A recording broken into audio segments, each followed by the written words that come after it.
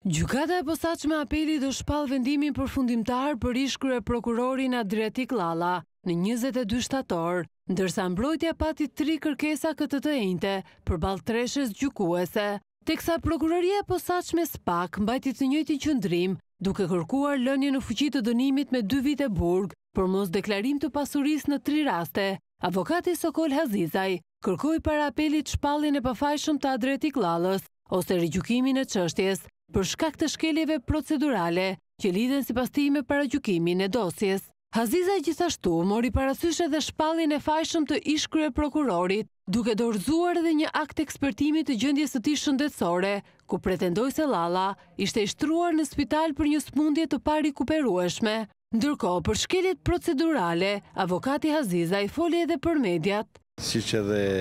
Gjykata e Shkallës së Parë, ka mbajtur në mënyrë vijuese qëndrim jo ligjor dhe jo procedural sa i përket parimit themelor procedural të kontradiktoritetit, që do të thotë ka prevaluar gjithmonë opinioni dhe Provat e stisura të organit procedural të hetimit. Arsye për të cilën ne apeluam vendimin e shkallës së parë, arsye për të cilën bëmë të qartë edhe para Gjykatës së Apelit që në proces gjykimi, si dhe këtu, për momentin, ka munguar parimi i paritetit.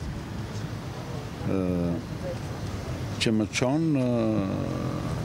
jo në paragjykim, po që më çon në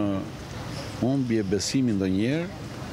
tek drejtësia. Prokuroria e Posaçme pretendon se ish-kryeprokurori ka fshehur vlerat reale të pasurive që ka blerë me qëllim që të fshihte shpenzimet dhe më tej burimin e tyre, ndërsa nuk kishte deklaruar disa shpenzime jashtë vendit. Gjykata e Shkallës së Parë argumentoi se vlerat e pasurive të blera nga Llalla pas rivlerësimit, Brenda pak muajve nga dita e blerjes, rriteshin shumëfish duke rritur dyshime se vlerat e para nuk ishin reale. SPAK i qëndroi kërkesës së dënimit të Llallës me dy vite burg dhe shpalljes së tij të fajshëm, ndërsa sa i përket kërkesës së tij për pezullim dënimi për shkak të gjendjes shëndetësore, u kërkua të mos pranohej akt ekspertimi.